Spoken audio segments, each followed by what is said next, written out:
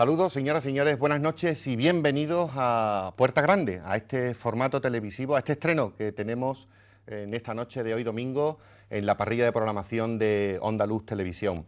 Un programa que va a estar dedicado eh, todos los domingos y también los miércoles en la redifusión al mundo de los toros, con contenidos y con muchas emociones que vamos a intentar llevarle eh, a todos ustedes a partir de ahora y bueno, pues por entregas eh, a través de estos capítulos denominados Puerta Grande que en su día también tuvo su formato de radio y que ahora pues lo vamos a hacer con toda la ilusión del mundo delante de las cámaras y a través de la, de la pequeña pantalla. Y durante muchos años quien me acompañó a mí en el estudio de radio y ahora en la televisión es eh, a don Miguel Ángel Feliz, a quien ya saludamos, que me acompaña también hoy aquí a mi izquierda. Don Miguel Ángel, saludos y muy buenas noches. Siempre te he llamado y siempre te he saludado de la misma forma. Sí, bueno, sí, buenas noches. Bienvenido a la televisión. sí, cambiamos de medio, pero yo creo que seguimos con la misma ilusión de siempre, defendiendo lo que nos ha gustado, lo que nos sigue apasionando. Y hombre, yo creo que ahora este es un formato un poquito más de más respeto para nosotros, pero bueno, ya le iremos perdiendo poco a poco ese miedo y seguiremos diciendo esas cosas es prácticamente lo mismo, Miguel Ángel. La única diferencia que antes íbamos con la barba de tres días y, ahora pues tenemos que ir un poquito más, más peinaditos. Más visible, ¿no? Y más, pero es prácticamente lo mismo y además se trata de hablar de una de las cosas que más nos gustan a usted y a mí. Sí, ¿eh? sí, además yo creo que, una de las cosas bonitas, eh, lo que nos permite este programa nuestro, es mm, una continuación de nuestros coloquios ordinarios, es decir, que aquí mm, huelgan mucho las formalidades y demás. Lo importante es el contenido que vamos a decir y que lo tenemos tan asumido que, disfrutamos con él. Y que agradecemos a los televidentes, eso es fundamental. De todas formas, me gusta mucho el haber continuado con el, con el viejo logo de Puerta Grande porque eso indica que al final o nos lo ganamos o nos, nos sacan por la otra. Vamos a intentar cortar orejas en esta, en esta faena con toda la ilusión del mundo. Venimos a la, a la tele y, bueno, yo creo que sí que vamos al menos a, cortar nuestras orejas y vamos a triunfar. Por lo, menos, por lo menos haremos todo lo posible. Se intentará. Sin duda ninguna. Se intentará. Bueno, pues eh, don Miguel Ángel estará siempre con nosotros. Y, bueno, paso a presentarles también a quienes hoy nos acompañan, que vendrán también asiduamente a nuestro, a nuestro programa Puerta Grande, que también eran asiduos en la radio y que ahora pues vuelven también a este formato televisivo. En principio a, don José Almenara Barrio, a Pepe Almenara, como a mí me gusta llamarlo. Pepe, saludo, buenas noches y bienvenido. Hola, buenas noches Manolo. Eh, bueno, pues en primer lugar agradecerte eh, la invitación eh, para, formar parte de esta tertulia, que en definitiva creo que es lo que debemos, debemos de enseñar, una tertulia de amigos y aficionados a los toros y agradecerte pues la oportunidad que me brinda de poder participar en este nuevo formato. Como bien estabais comentando antes, eh, pasamos de la radio con el mismo nombre, Puerta Grande, pasamos a la televisión y espero que tengamos mucha audiencia, que parece ser que es lo, importante, y, evidentemente podamos hablar de toros en, televisión, que creo que es el, objetivo último de todos nosotros. ¿no? Bueno, y también tenemos, eh, Pepe Almenara nos acompaña desde, desde Cádiz, ¿eh? porque nosotros siempre decimos que el toreo es interplanetario, es decir, que no entiende de frontera y, que, bueno, buena cuenta de ello va a ser a través de las muchas entregas que iremos haciendo, como irán apareciendo aficionados de otros lugares, ya no solo de la provincia, sino vamos a intentar incluso que sean de otros lugares, de otras provincias ¿no? de, Andalucía. decía que Pepe viene desde Cádiz, y José Duarte pues viene desde nuestra ciudad de, Jerez. Aquí también saludamos, José. Buenas noches. Encantado de tenerte aquí. ¿eh? Es un placer para mí, muchísimas gracias por tu invitación y desearte lo mejor en la nueva andadura televisiva de, tu programa. Muchísimas gracias por tu invitación. Bueno, yo creo que es importante, también quería bueno, pues, eh, comentar que, es importante la apuesta también de esta casa, de Onda Luz Televisión, que desde un principio, cuando se propuso la idea de, traer este formato televisivo de televisión y de toros, eh, a la pequeña pantalla, pues por parte de la, dirección todo han sido para bienes, ayuda, mucho mimo y además pues hay que decir también que este programa no lo hago yo ni lo hace Miguel Ángel, sino que hay un equipo de gente alrededor, gente que trabaja mucho y son muy buenos profesionales y también a ellos les dedicamos este, este primer espacio de, Puerta Grande, pues esto al final es el resultado del trabajo de muchos, ¿no? de, muchas personas que, que nos acompañan y que están haciendo el programa eh, semana tras semana. Pero yo creo que es importante, ¿verdad?, la apuesta de, en este caso de esta casa, eh, sin complejos y sin ningún tipo de, duda, pues por la fiesta de los toros, ¿no? Sí, voy a agradecer además en estos tiempos en los que la gente no siempre es tan, tan sincera y no siempre desde, desde los medios y desde, desde los medios tanto escritos como, como de, este, de este tipo, televisivos, se apuesta por una fiesta que está desgraciadamente en entredicho en los últimos años, porque nosotros lo vemos quizá desde nuestro punto de vista de aficionados, de muy aficionados, pero estamos en el fondo luchando o, celebrando una, una sorda batalla, digamos, entre comillas, para que esto subsista, porque vamos, ante el miedo de que algo tan maravilloso y tan, tan eh, duradero en los siglos se pueda venir abajo, pues eh, no sé, por desconocimiento, por caprichos no muy confesables. Y entonces, quizá por eso tiene mayor valor. Bueno, yo eh, apoyo lo que está diciendo Miguel Ángel, ¿no? Yo creo que hay que agradecerle a Onda Luz la apuesta. Mm, y bueno, ya, ya nosotros sabíamos que la tauromaquia es cultura. Ahora mismo ya está reconocido oficialmente de que la tauromaquia es cultura después del referendo que ha tenido la ILP en, los medios políticos. Por lo tanto, mm, sin ningún complejo, sabemos y oficialmente es la tauromaquia es, cultura.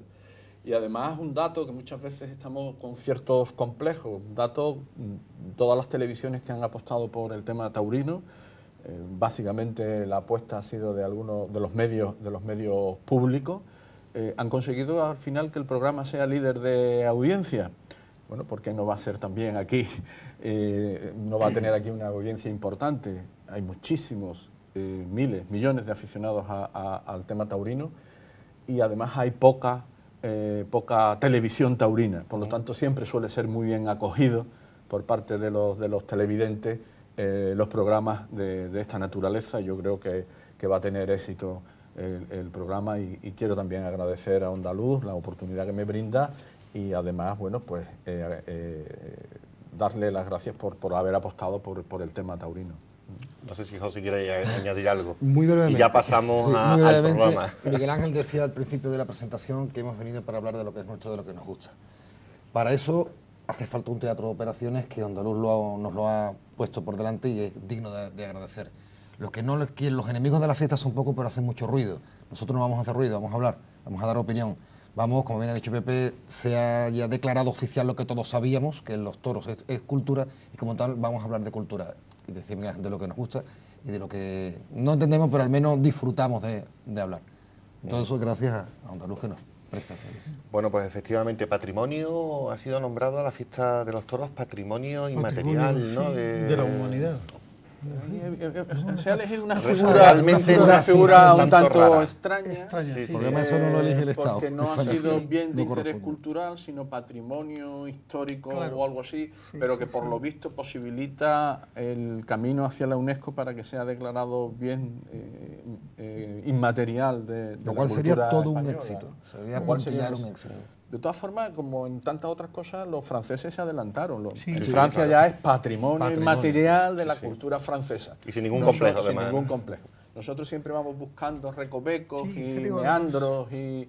Pero en fin, bueno, el, caso... Que no, llega ni siquiera a la, categoría de los franceses. ¿Hay, alguna, sí, hay, hay algo, pero bueno, yo creo que es un buen, un buen escalón el que hemos subido. Y además hay una cosa importante que hay que recordarle, que una vez aprobada la ILP, y declarado patrimonio cultural con el adjetivo que queramos, hasta dentro de 50 años no se puede tocar. O sea que, mm. creo que tenemos 50 años por delante para fomentar, desarrollar, convencer, etcétera. Y para trabajar. Y para, trabajar. Sí, lo que no nos podemos por el estamento taurino. Hay que ser pedagógico. Bueno, pues eh, presentados nuestros nuestros contertulios de hoy, eh, queríamos también eh, nombrar a, a Toñi Flores, porque es quien nos ha decorado el, estudio que vamos a tener habitualmente aquí en, en. El estudio viene decorado, como ven todos ustedes, pues por fotografías de esta fotógrafa portuense, Toñi Flores, que, bueno, pues inmediatamente que nos pusimos en contacto con ella, colaboró muy directamente con nosotros y desde aquí le queremos agradecer muy fervientemente ¿eh? y agradecerle su, colaboración y además pues con estas bonitas imágenes taurinas anónimas, hemos querido escoger imágenes anónimas para no focalizar en, nadie la atención del estudio, eh, pero muy taurinas al mismo tiempo, pues que nos acompañen en todos nuestros, en nuestros programas de, Puerta Grande. Ya traeremos a Toñi Flores, porque la queremos traer, también tienen muchas cosas que contarnos y que decirnos de su obra y de su, de su fotografía, ¿no? Eh, porque lleva muchos años por los callejones, fotografiando y, en definitiva reflejando la fiesta de los toros. Bien, si les parece a todos ustedes, vamos a pasar a un primer contenido que queríamos dedicar, decíamos anteriormente, de forma casi principal eh, el programa a, lo que fue la corrida concurso de ganaderías. Nosotros les hemos preparado a todos ustedes un reportaje que habla sobre la corrida concurso. Vemos, por tanto, disfrutamos de este reportaje y enseguida volvemos y comenzamos la tertulia, en este caso centralizada en la corrida concurso de ganaderías.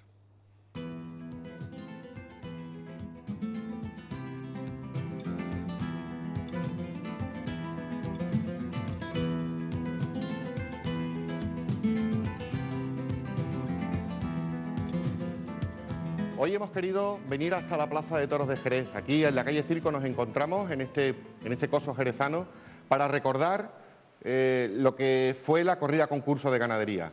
Durante 35 ediciones, durante 35 años, se celebró un espectáculo que fue ideado por taurinos de Jerez, como era el empresario Pepe Belmonte Fernández y por don Álvaro Domecq, y que se trataba de hacer un homenaje al toro y se premiaba aquella ganadería que, era, que traía al toro más bravo. Tristemente desaparecida esa corrida concurso desde el año 90. Hoy nosotros aquí en Andaluz queremos hacer un sentido homenaje, recuerdo a la tristemente desaparecida corrida concurso de ganadería. En el año 1955, José Belmonte y don Álvaro Domecq innovan un espectáculo en el que el toro fuese el auténtico protagonista. Se trataba de hacer un concurso de ganaderías donde premiar al toro más bravo de la corrida. El 11 de septiembre de dicho año se abrían las puertas de la plaza de toros para que por primera vez se ofreciera esta especie de experimento que a la postre y durante más de 35 años resultaría ser un éxito para la plaza y para la ciudad de Jerez. En aquella primera corrida concurso, la terna estuvo compuesta por Antonio Bienvenida, Rafael Ortega y César Girón. Se presentaron toros de Miura, Carlos Urquijo, Joaquín Buendía, herederos de Curro Chica, Marqués de Villamarta y un toro de Juan Pedro Domecq. Precisamente el toro de Juan Pedro Domecq, de nombre Desteñido, hijo de Desteñida y del selemental Jazminito, fue el ganador del primer Catavino de Oro, además de haberse pedido el indulto y otorgado por la presidencia de la plaza. Una gran tarde de toros que todavía se recuerda en Jerez.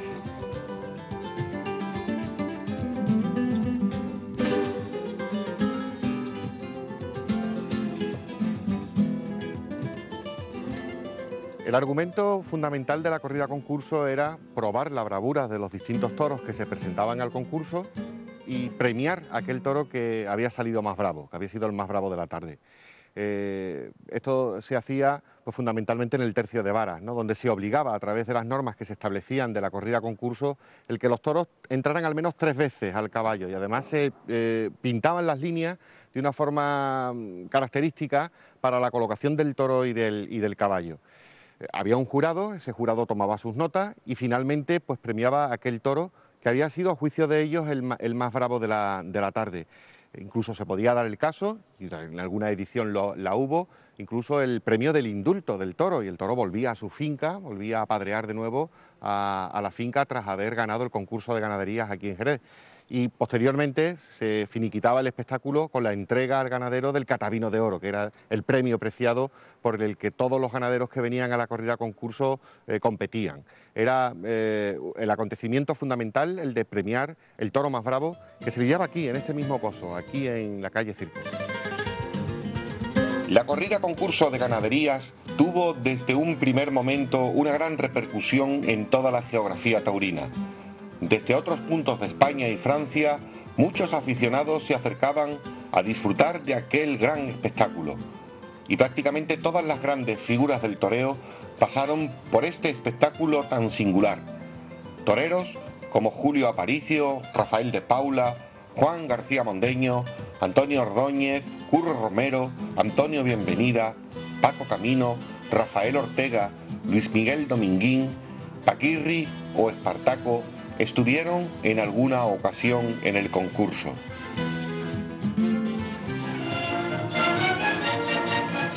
Durante el programa de fiestas de la Vendimia de Jerez, se celebra en la alegre ciudad andaluza una clásica corrida concurso en la que los diestros Curro Romero, Aparicio y Ordóñez lidian toros de varias ganaderías.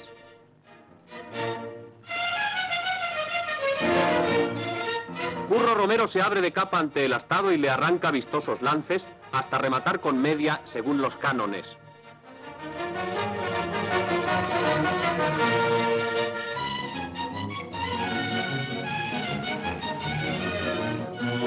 Brinda Aparicio a don Álvaro Domecq.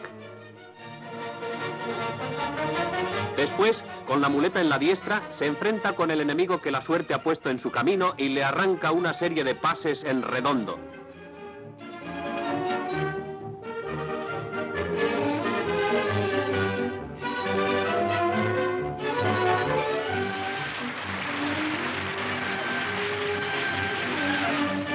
Ordóñez brinda a la reina de la vendimia rodeada de su corte de honor.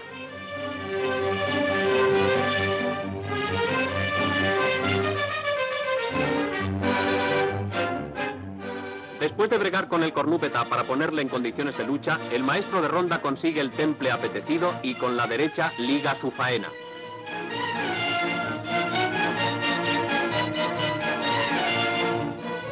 Una estocada que basta le libra de su enemigo.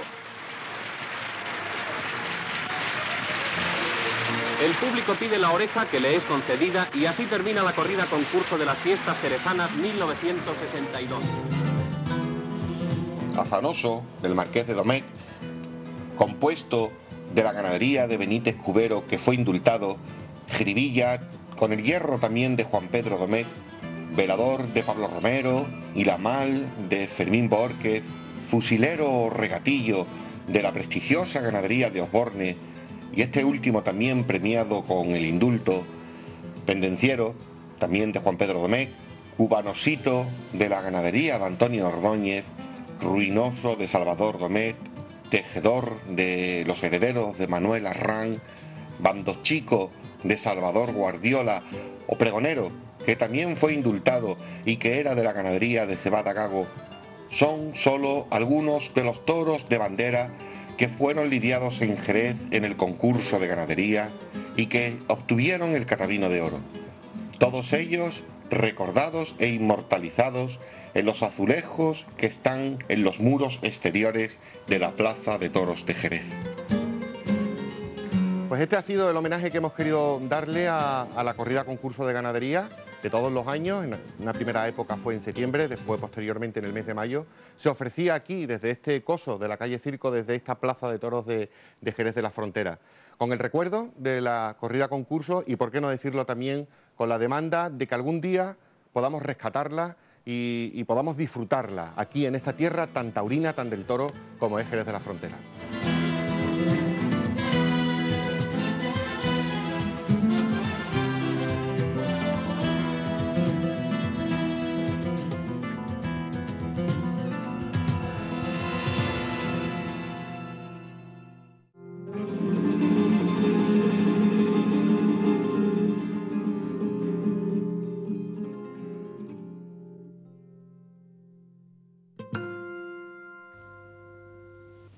Este era el, reportaje que hacíamos desde la Plaza de Toros de Jerez y, bueno, pues este era el recuerdo que, hoy hemos querido eh, detener en nuestro primer espacio de, de, Puerta Grande y con el que queremos también un poco pues analizar con nuestros contertulios lo que, lo que fue y lo que ya no es, que es la, la corrida la corrida concurso. Miguel Ángel, no sé si tú alguna vez estuviste en la, en la misma.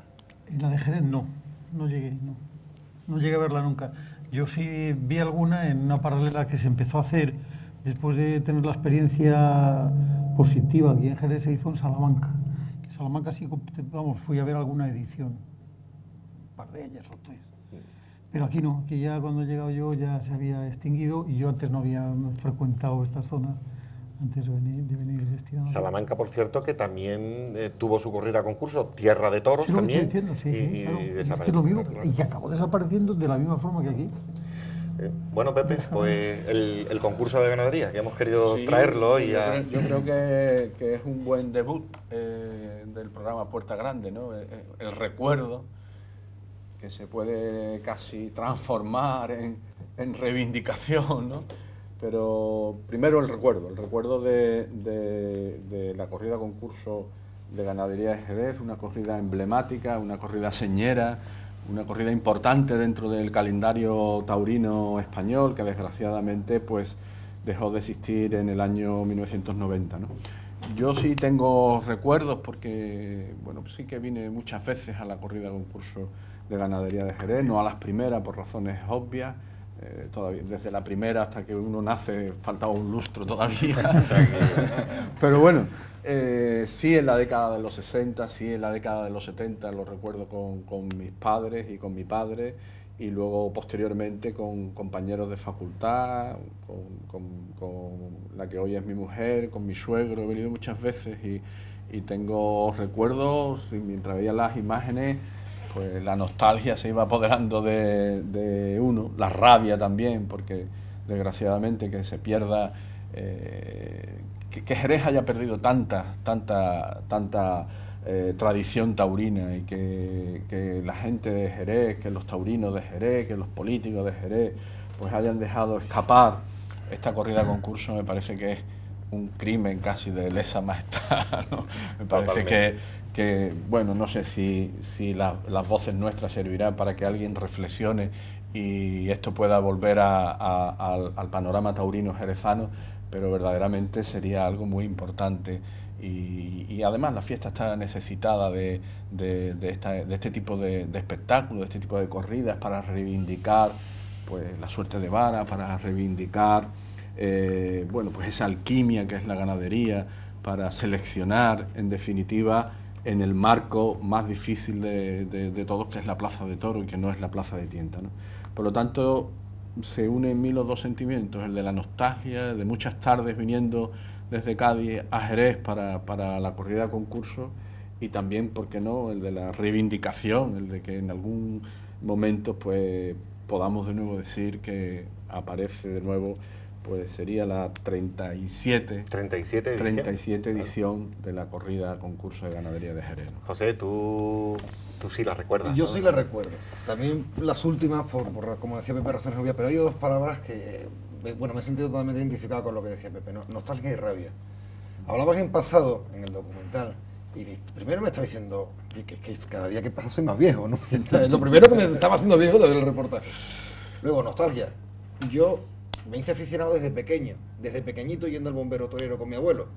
Pero llegar a una corrida concurso de Jerez era ya una reválida. Aprendía, lo comentábamos al inicio a- a- con el micrófono cerrado, aprendía de los que estaban al lado mío, de los, eh, aficionados viejos, el porqué de las rayas que delimitaban los terrenos del caballo. Era una reválida eh, para un taurino con veintitantos años que iba a ver esa corrida de, de toro tan especial. Rabia porque se perdió de una forma absurda, se perdió quizás, visto desde fuera, por el desinterés. Entre otros muchos factores, por el desinterés. Luego también rabia porque no solo fue una corrida concurso, no solo fue la primera corrida concurso que hubo en España, es que fue una corrida concurso por excelencia, donde los ganaderos llevaban lo mejor de su campo a las plazas de toros, donde se elegían toreros más o menos lidiadores para que sacaran todo lo que tenían de esos toros. A posteriori hemos visto otros tipos de corrida concurso, sobre todo en esta última etapa, en estos últimos 10-15 años, empezando por el mismísimo Madrid. Además que corridas concurso eran vaciar los, Los corrales, los ¿no? corrales. De- Era limpieza de corrales. Y se camuflaba algo que debería de ser el top, permíteme esta palabra tampoco taurina, el culmen de la- del trabajo de un ganadero, se camuflaba en algo tan, tan pobre como una limpieza de corrales.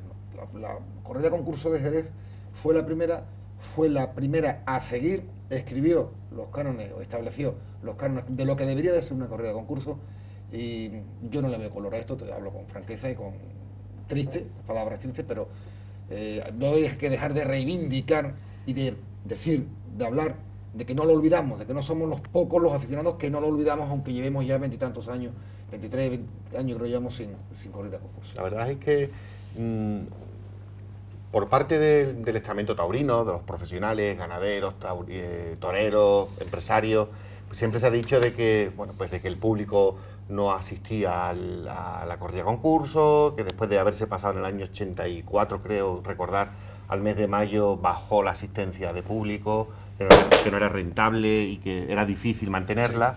Eh, después también por parte de los aficionados, eh, pues se ha tenido en cuenta eh, la posibilidad de, que, eran los mismos profesionales, ¿no? Los que no querían estar, ¿no? En, el concurso y, no sé si qué es lo que ha habido ahí para que desapareciera este festejo tan tan emblemático. ¿Fueron los profesionales? ¿Fue la gente que dejó de ir? Posiblemente posiblemente un poquito de todo, ¿no? Yo creo que fundamentalmente, eh, bueno, pues debió ser una dejación por parte de por parte de los propios taurinos, ¿no? En el tema, el, no cuidarlo, el no mimarlo, el, no venderlo, el no promocionarlo, pues posiblemente todo eso pues fue minando poco a poco la, corrida concurso y, fue pues, lo que le llevó al, fracaso. Aquí viendo un poco los datos, pues sí, es verdad, desde el año 87, los últimos años, los últimos cuatro años, pues hay dos premios que se declaran desiertos y, solamente dos toros premiados en esas cuatro ediciones y ningún indulto. Posiblemente también se fue descuidando el que al principio sí que los ganaderos ponían el máximo de atención a la hora de seleccionar los toros para la corrida de concurso y poco a poco con el devenir de los años pues, pues eso se fue descuidando. Y esa es una reivindicación yo creo siempre de los aficionados, ¿no? Yo creo que cuando se descuida la piedra angular de la fiesta que es el toro, pues al final llega de nuevo el fracaso, cuando, cuando en una corrida concurso que lo fundamental es, es medir al toro en el caballo, si no hay toro pues ya no puede haber tercio de varas, por lo tanto ya la corrida concurso deja de tener sentido. ¿no? Yo creo que, que, si bien las primeras ediciones, los primeros 10, 15 años, sí que los ganaderos pusieron el máximo interés, pues poco a poco los intereses de la fiesta, esos intereses de trastienda que tiene la fiesta, pues fueron mm. minando un poco, un poco la corrida, ¿no? Y al final, pues eso se traduce, como siempre, en la taquilla. Cuando no se pone el máximo interés en cuidar al espectáculo, eh, la gente no es tonta y la gente deja de ir, porque evidentemente es un espectáculo caro y la gente lo que quiere es que esté cuidado al máximo. No, olvidemos también a los toreros. A los toreros. Yo después de oír a mis mayores hablar de, esto e incluso algunos miembros, algún que otro miembro del jurado, decían que, es que era un quebradero de cabeza tremendo, es que ahí no había mm. quien pusiese de acuerdo a nadie, ni torero, ni ganadero, y este porque este toro y el otro porque no. hay al ser una corrida un tanto atípica, porque no se, no se emparejan los toros como, como es habitual, mm. pues se formaban unos almantías tremendos que uno llegaba a pensar, bueno, para que me merece la pena este lío, mm, ya eso lo unimos a la, a la crisis que también había por aquel entonces, no olvidemos, mm. eh, lo unimos al desinterés que hemos comentado de los, de los ganaderos y que iba perdiendo el valor añadido que daba la corrida de concurso de, de, Jerez, la iba perdiendo. Entonces, no ver un, un valor añadido, pues no, perdías interés y tú llegabas pues, para quitar el paso, para figurar un cartel y punto. bueno, pues si me permitís, vamos a... que en Salamanca fue una cosa parecida y también yo recuerdo sobre todo haber leído críticas de última hora donde críticos muy reconocidos mm, mm, se quejaban de la falta de calidad de, de los productos presentados, digamos así, de los toros, la mala presentación y incluso en algún caso ya mm, casi tomando el pelo al público. Y todo eso se, tuvo que venir abajo. Claro. Si me permitís, vamos a hacer un pequeño alto en el camino, nos vamos a ir a, a, la publicidad, tan necesaria para todos nosotros, nos vamos a dar esa vuelta por el escaparate y enseguida volvemos aquí en Puerta Grande, en Onda Luz.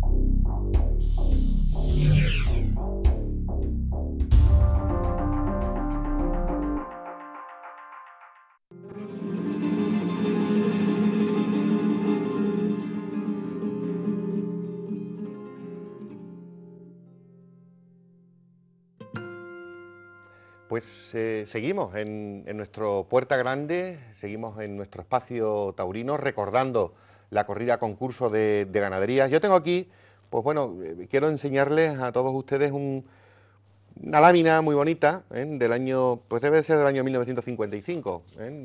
la vamos a mostrar aquí a la, a la cámara, del toro desteñido. Este fue el toro que fue indultado en la primera edición del corrido concurso de la primera edición de la corrida concurso. Aquí lo tienen ustedes, el toro desteñido, ¿eh? de, la vaga desteñida, del toro jazminito, y cuenta un poco la genealogía del toro. Y aquí por dentro aparece un verso de Juan Pedro Domecq, dedicado, aquí se ve, ¿eh? poema a desteñido, dedicado al toro, este que fue el ganador de la primera edición y indultado y además pues tiene una cosa muy simpática. Esto fue editado por Jerez Gráfico, que era una imprenta jerezana de, fin, de mucha raigambre y muy conocida entre los jerezanos.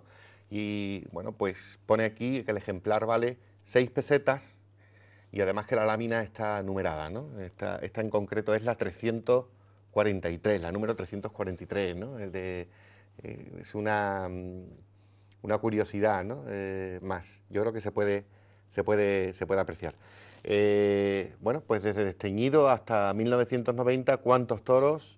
¿Cuántas emociones? ¿Cuántos matadores de toros? En el reportaje nombrábamos incluso algunos de los, de los matadores, toda la, la cresta ¿no? de todo lo mejor, lo, más florido del escalafón pasaba por la corrida concurso porque era un auténtico emblema poder estar y hacer el paseo en Jerez y en ese momento, ¿no? en esa corrida tan emblemática, ¿no? tan, tan mm. especial. Hemos hablado de los toros, hemos hablado de los toreros.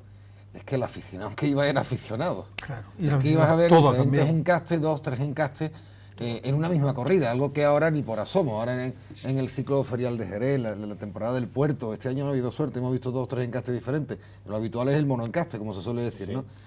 Y recuerdo una corrida, creo, creo que fue con Paquirri, me puedo equivocar, hace ya muchos años, donde había un pequeño sector del público que quería eh, que banderillase el maestro, pero por aquel entonces se veía también a los banderilleros y había un, un premio a los banderilleros y hubo otro sector más numeroso que se opuso a ello. Y me lo, guardo con, buen recuerdo porque habla en favor del aficionado, del aficionado que va a exprimir una tarde muy especial de toros. Ahora vamos a conformarnos con que con suerte el toro dure y entre. Antes íbamos a ver dos, tres entradas del toro al caballo. A partir de la segunda, cuando se ve si el toro es bravo o no. La primera es por propia naturaleza del animal. La segunda veremos la bravura o no del toro. Ahora ¿Cuántos ciclos de, los, de la zona de la comarca vemos que entra un toro dos veces al caballo? Muy poquitos, muy poquitos. Y lo dejo en duda porque alguno habrá habido, ahora mismo no me viene ninguno a la mente en este año. Era, la corrida concurso para mí era el máximo de lo que se podía ver en una plaza de toros. Mm. Era un público, eran unos toreros, eran unos ganaderos, era todo, éramos todos. Todos participábamos directamente de esa fiesta. había también una, una filosofía diferente tenemos aquí las ganaderías que participaron, por ejemplo, en la primera, la del 55, y uno dice Eduardo Miura, Carlos Urquijo, Juan Pedro Domé, Joaquín Buendía, heredero de Francisco Chica y Marqués de Villamarta. O sea, hay nada, ¿no? cada, toro de un Exactamente. Pero luego entre los toreros estaba don Antonio Bienvenida, don Rafael Ortega y don César Girón. Es decir, en aquel momento las figuras era un prestigio participar en la corrida de concurso y no le hacía asco a ningún tipo, me toque el de Miura, me toque el de Villamarta o me toque el de Urquijo. Hoy uno se pone a pensar, que me imagino que es lo que le ocurrió en la década de los 90 a la corrida de concurso, y tú no puedes anunciar esas ganaderías si quiere traer a las figuras, porque empezarán los problemas. Pues yo no mato a la de Miura, pues yo no mato a Cebada Gago, pues yo tampoco quiero la de Funteimbro. Y entonces, evidentemente, con esos mimbres no se puede confeccionar una corrida. Y hablábamos aquí antes que, bueno, pues vamos entonces a traer en lugar de las figuras de máximo relumbrón del escalafón a, torreros, a toreros lidiadores, como puede ser un Ferrera, como puede ser un Castaño. Entonces tenemos la contrapartida de que el público, el público es que no va ni el acomodador. Claro, es que no va ese es el problema. Es decir, y uno ve con envidia que, por ejemplo, ese tipo de carteles, con ese tipo de estrategia en Francia funciona y aquí no.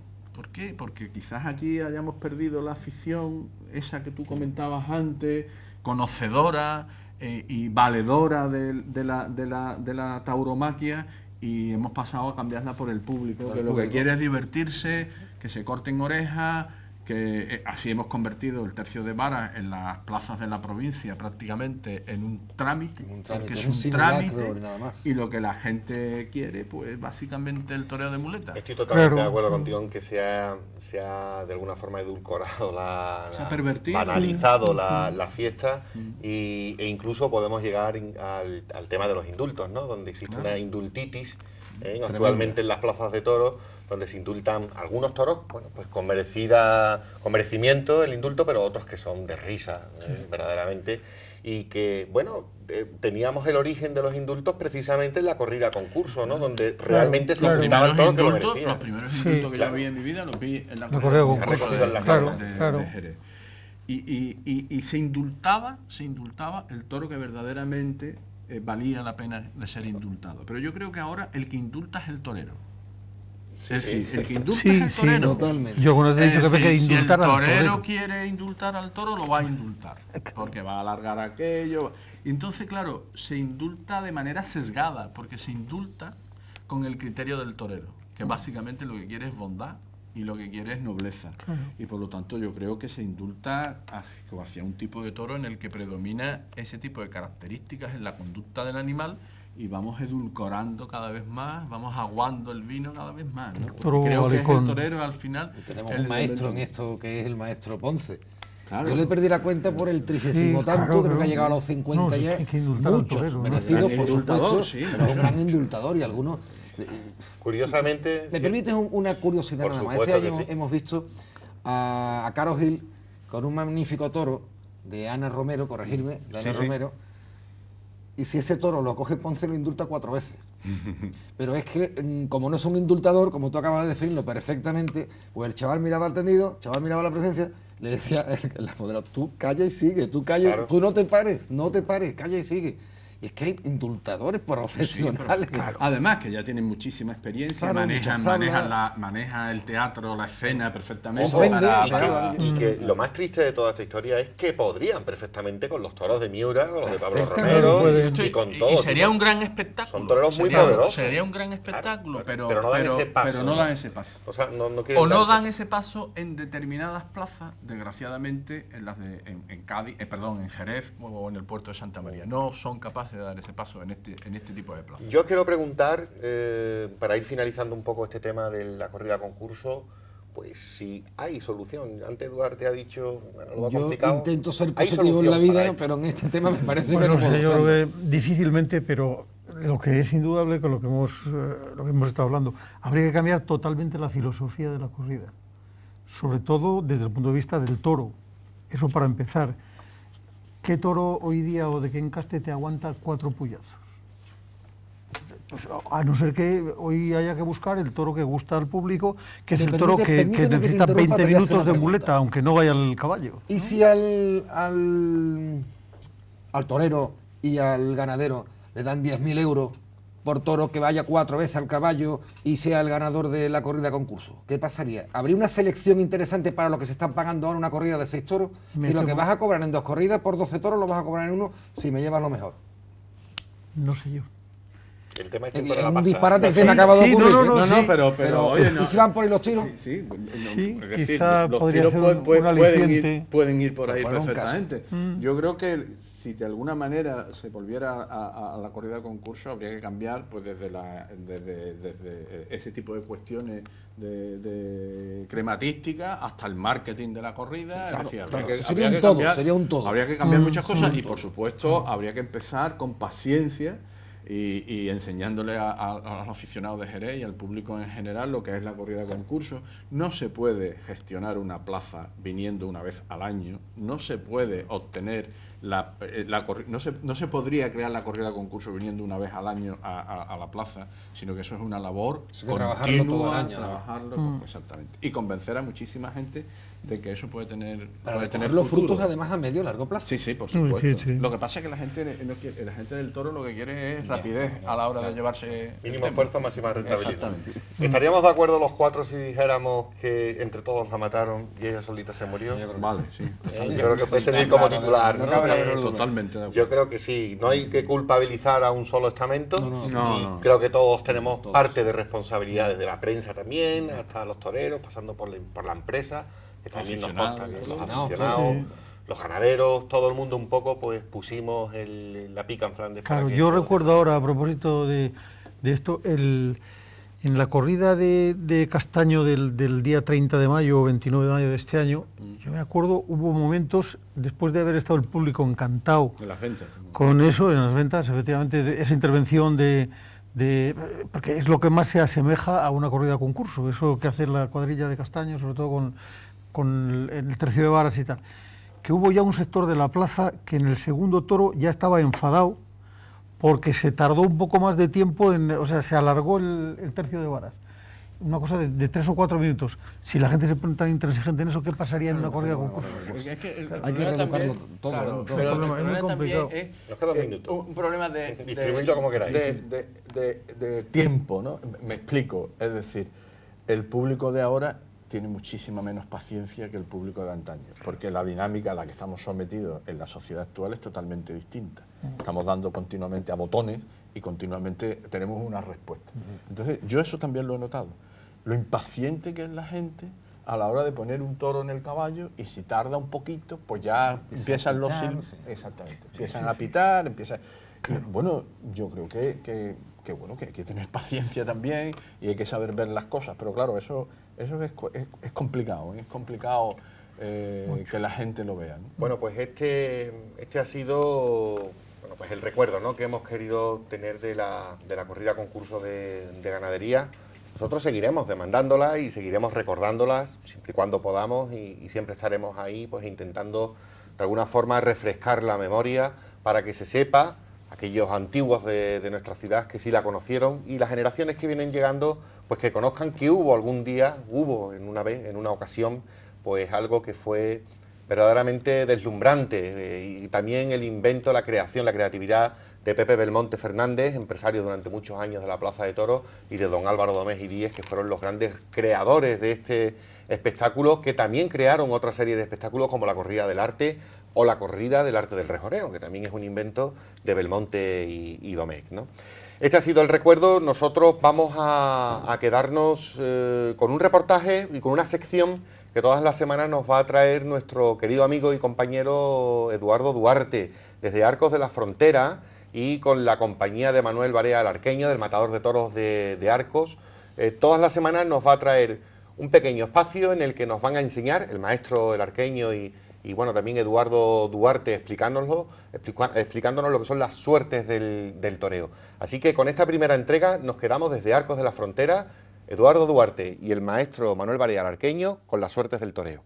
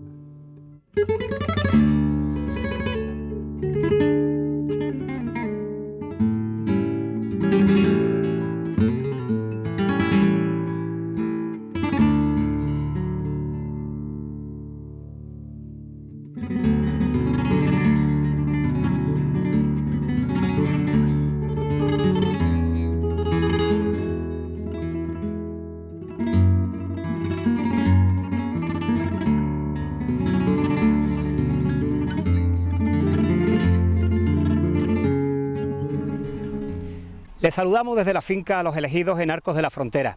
Hoy comenzamos una nueva sección en el programa taurino para las televisiones de Andaluz que comanda y dirige el buen periodista Manolo Sotelino. La sección se va a llamar Las suertes del toreo. La vamos a hacer en esta plaza de toros Se va a encargar de la teoría un servidor, Eduardo Duarte, y de la práctica en el toreo de salón, nuestro amigo, colaborador y matador de toros, Manuel Barea, el arqueño. Manuel, muy buenas. Buenas tardes. Bueno, hemos estado retransmitiendo las novedades de las escuelas taurinas y en más de una ocasión me decía Eduardo que lo mío no es el micrófono, lo mío es torear. Pues ahora, aunque sea salón, pero vamos a tener la oportunidad de hacerlo. Hombre, la verdad es que se prefiere torear, pero en la práctica, ¿no, torero? Pero, pero bueno, siempre es bueno fomentar esto, ¿no? Bueno, lo que sí es verdad y lo que hay que decirle a todos los aficionados y a todos los televidentes que nos están viendo ahora mismo, que para torear bien en la práctica hay que torear mucho y bien y ser constante en el toreo de salón que torear de salón pues totalmente a diario, ¿no? Y si puede ser varias horas, pues mejor.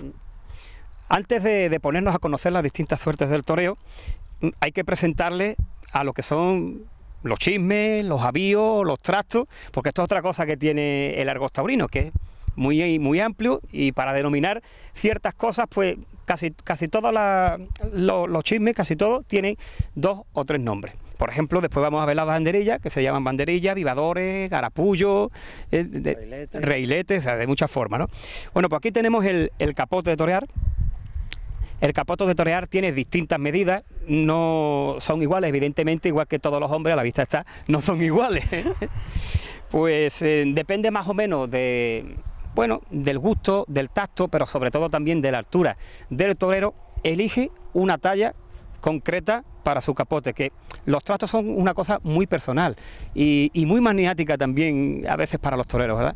Pues sí, la verdad es que sí, ¿no, Eduardo? Hay gente que, son altos, hay toreros que son altos y sin embargo llevan trastos pequeños, toreros que son pequeños y sin embargo llevan trastos grandes, ¿no? Cada uno a su gusto y manera, ¿no? En los colores, como también, ya que estamos lo de diferentes formas, cada uno lleva los forros a su gusto, ¿no? Unos amarillos, otros celestes, verdes, o en este caso nazareno como, como me gusta a mí, ¿no? Color nazareno que lo llevaba mucho José Miguel Arroyo Joselito, era uno de, de ellos, ¿no? Pues sí, ¿no? Y además uno de mis toreros favoritos. El azul y el verde lo llevaba Rafael de Paula, entre otros. Tu torero favorito. El mío. bueno, pues eh, se miden y se dicen por centímetros. 108 centímetros pueden ser los capotes más pequeños que, hayan y aproximadamente 120, lo que se llama en largo 1,20, es el capote más grande.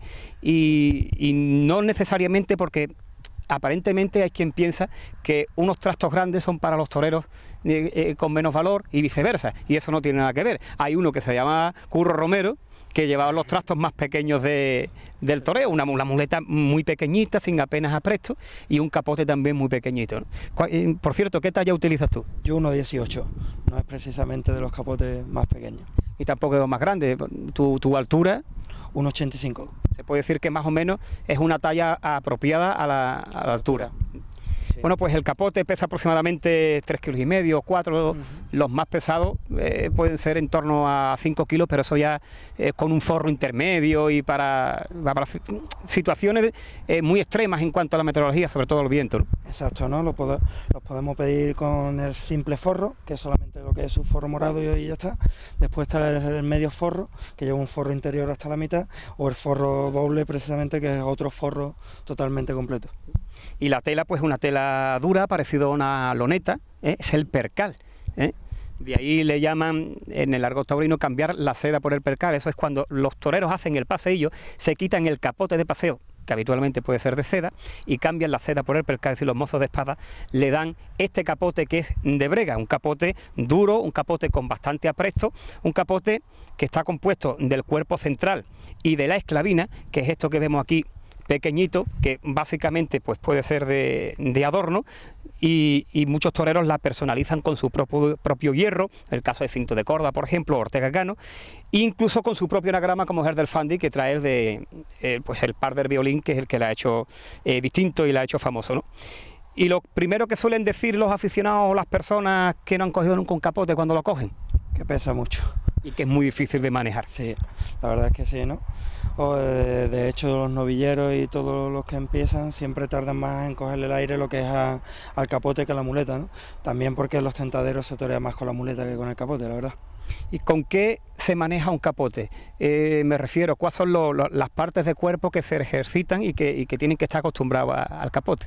Explicarlo, yo creo que lo vas a explicar tú mejor que yo, Eduardo, pero yo creo que torear, hay que torear con todo, ¿no? Pero las partes fundamentales, como en todo en el toreo, son las muñecas con las muñecas se desplaza hacia afuera la embestida, con las muñecas se lleva, con las muñecas se desliza la embestida al final, yo creo que, con las muñecas. Y eh, físicamente hablando, el antebrazo tiene que estar también muy fortalecido, ¿no? Para, para pues coger el capote. El ante, lo que es el antebrazo y las muñecas es lo que más fortalecemos, ¿no? Para, para torear de salón, o bien teniendo los trastos mucho tiempo en las manos, o bien con las espadas de hierro a la hora de andar, o los típicos manguitos de, de toda vida de Dios, ¿no?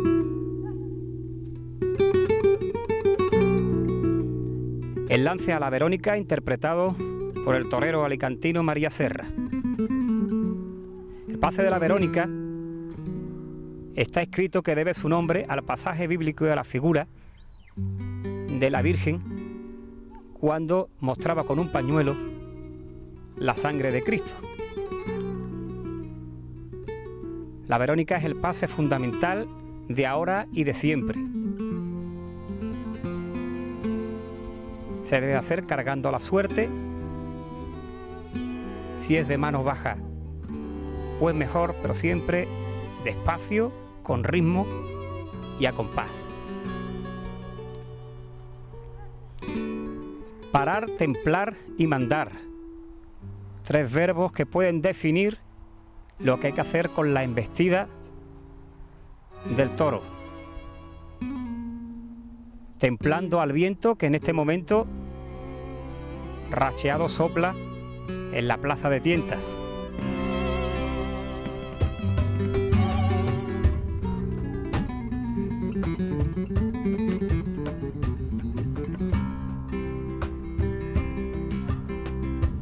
Hay que echar el capote adelante, traerse en bebida la embestida del toro y vaciarle la embestida hasta el final, preparándose para el siguiente. La Verónica, según la versión del matador de toros Manuel Barea Larqueño.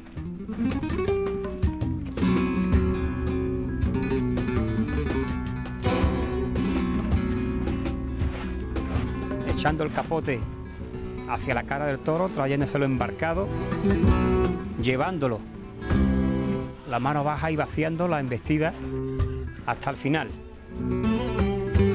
Esa por el pitón izquierdo, también de mano baja, metiendo los riñones y cargando la suerte.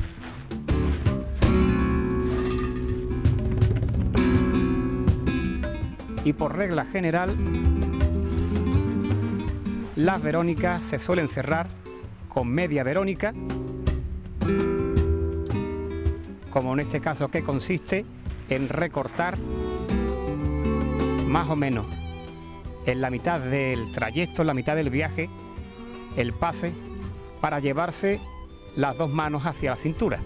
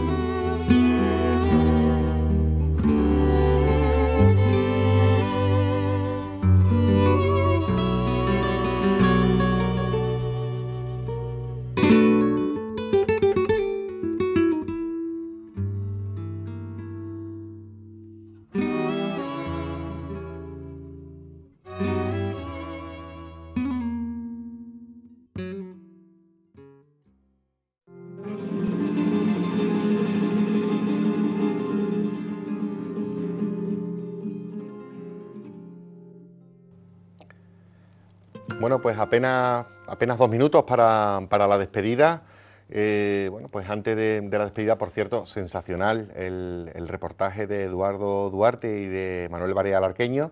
bueno, pues todas las semanas nos van a acompañar y nos van a ir dando esa clase didáctica que yo creo que también es necesaria para que los públicos cuando vayan a las plazas de toros pues sepan por qué se ejecuta una suerte así, por qué se coloca el torero de esta forma, por qué el toro tiene tendencia a ir hacia un lado. Yo creo que eh, esta forma de difundir también y de, hacer pedagogía taurina, si se me permite, el, interesante, ¿no? además es que tú que eres pedagogo. sí, sí, evidentemente, evidentemente. pedagogía y además ha estado muy bien, muy bien el formato y muy bien conseguido y, me parece estupendo.